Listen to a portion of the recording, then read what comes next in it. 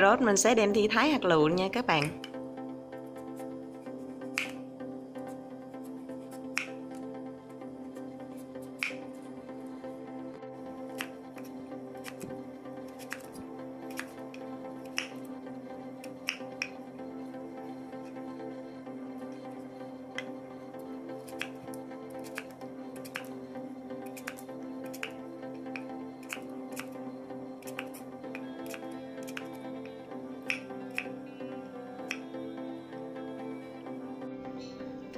Bắp, các bạn mua được loại bắp Mỹ thì nó sẽ ngọt và nó ngon hơn nha các bạn. Cái trái bắp của mình nó hơi nhỏ nữa, nên mình sẽ dùng hết trái luôn. Còn nếu mà bắp của bạn to thì có thể dùng nửa trái thôi cũng được. Đậu que mình cũng sắc hạt lựu luôn nha.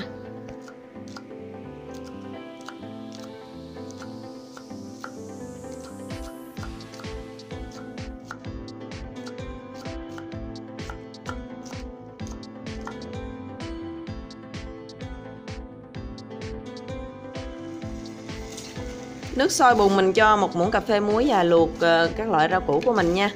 Và mình luộc sơ thôi, không cần luộc kỹ quá nha các bạn.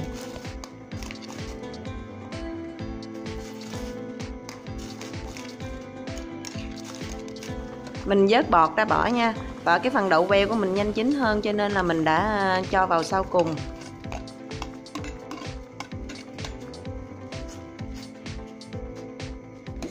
Rồi mình sẽ vớt hết ra cái rây và để cho ráo nước nha.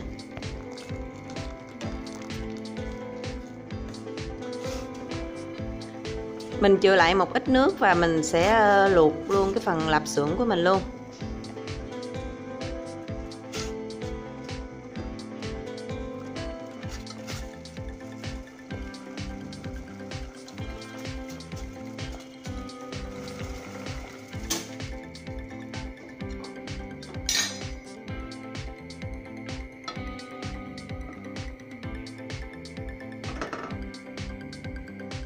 Bằng cái nồi đó mình cho thêm chút xíu nước nữa và mình sẽ luộc tôm nha.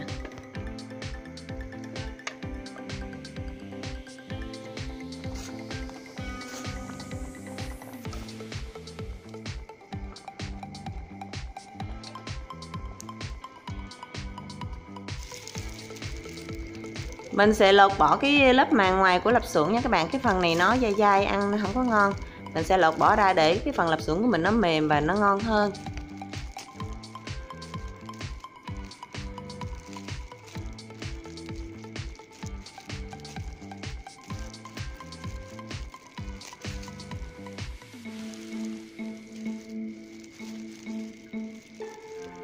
Rồi mình cũng sắc làm tư và mình thái hạt lựu cái phần lạp xưởng luôn.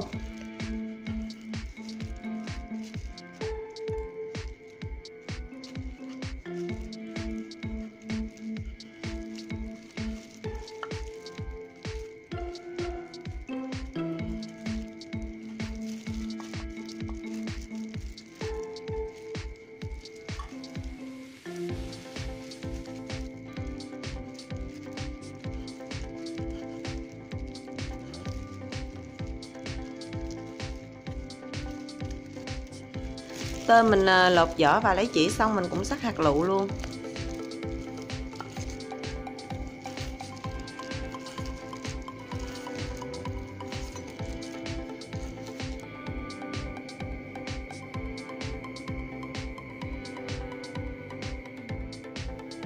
Mình sẽ lấy ra một chén cơm để ờ, mình ờ, ướp với bột chiên giòn và mình sẽ chiên cái phần cơm này nó giòn luôn.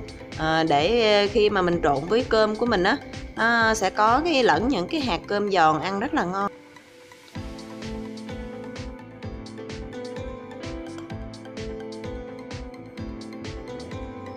Mình cứ lần lượt à, rắc cái phần bột này vô cơm và mình trộn đều cho lớp bột này nó áo hết cái hộp cơm của mình. Có thể dùng tay để mình bớt ra cho nó tơi ra nha.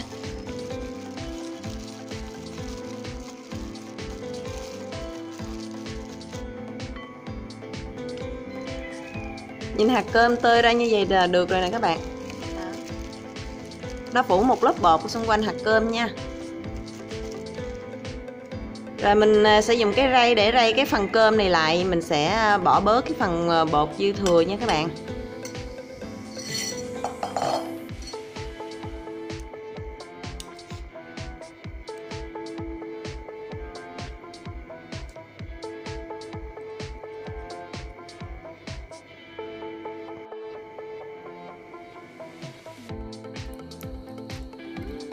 Rồi giờ mình sẽ chuẩn bị tiếp một tô cơm trắng và mình sẽ cho vào đây khoảng 5 cái trứng.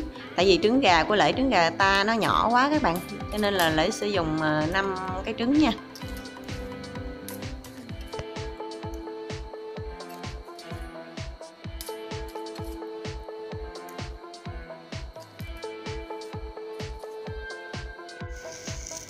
Mình sẽ ướp vào đây hai muỗng cà phê hạt nêm.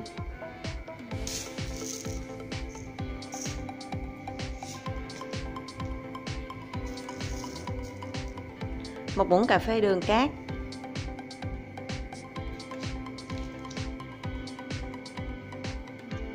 Để món ăn của mình có cái màu sắc đẹp mắt hơn thì lễ sử dụng thêm màu dầu điều nữa. Um, ở đây lễ dùng một muỗng cà phê thôi. À, vì cái phần trứng của mình hơi nhiều á còn các bạn có thể sử dụng nhiều hơn nha. Mình sẽ dùng tay và trộn cái hỗn hợp này cho đều luôn nha các bạn. Đều và tơi ra nha.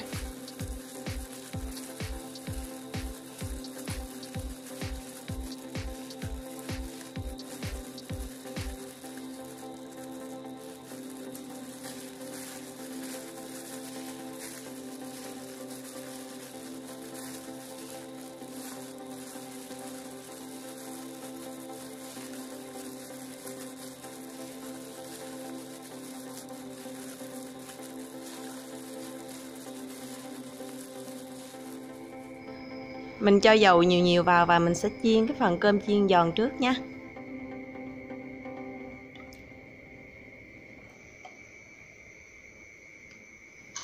Mình cho hạt cơm vào thử, mình thấy nó nổi như thế này là dầu đã nóng rồi nè, các bạn. Mình sẽ bắt đầu chiên cơm nha.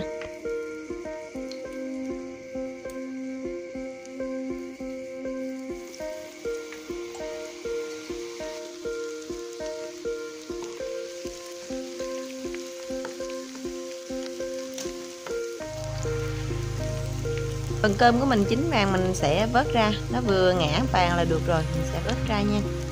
Để ý lửa nha các bạn, để kẻo cái phần cơm của mình bị cháy nha.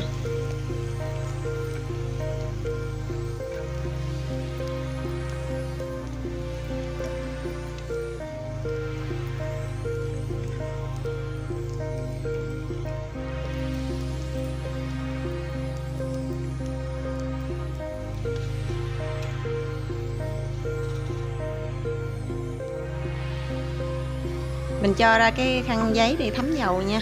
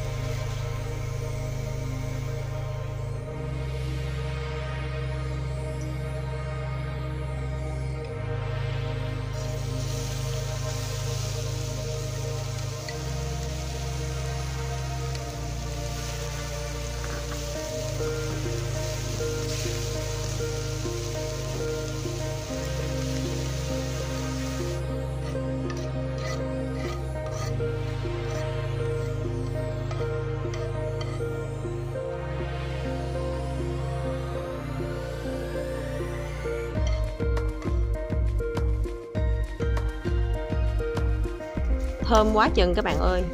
Giòn rụm luôn nè các bạn. Các bạn để riêng ra nha. Rồi cái chảo tỏi này mình cho thêm một ít nước tỏi vào nha. Và mình sẽ phi thêm hành tím nữa.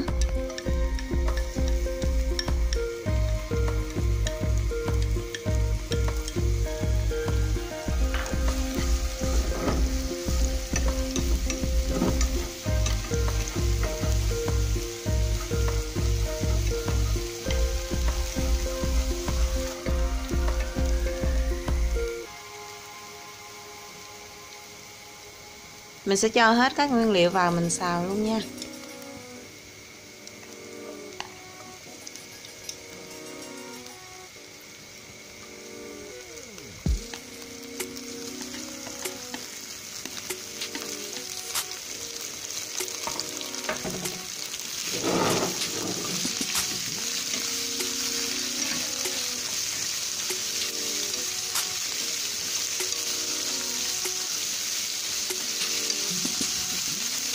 Mình ướp vào đây một muỗng cà phê hạt nêm.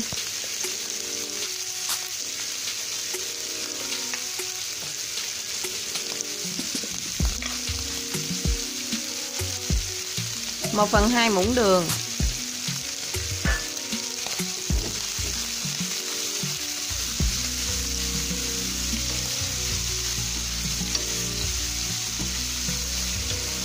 Và mình cho hết các loại rau củ vào luôn.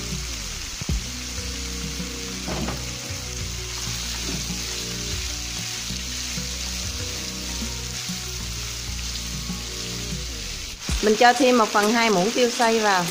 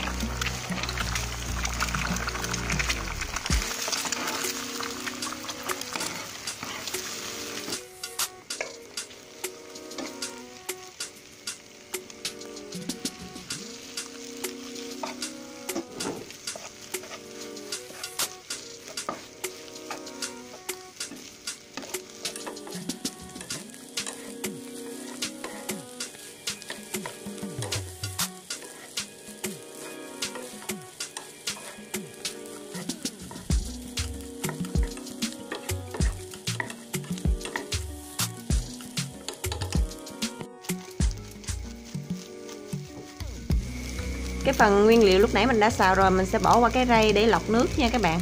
Rồi mình mới cho vào cơm nha.